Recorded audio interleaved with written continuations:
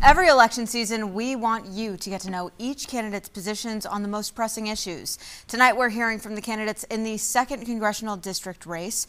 We asked, what can the federal government do right now to lower inflation for food and household goods? So, because food and household goods are transported, it starts with gasoline. We got to lower those prices. We got to start drilling. We got to start opening up. We, we need to work on re- regulations as well that will help lower some of these costs.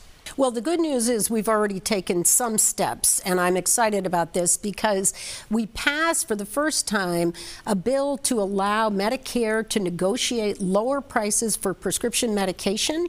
And it won't just impact Medicare because the insurance companies will accept those prices and it'll benefit everyone.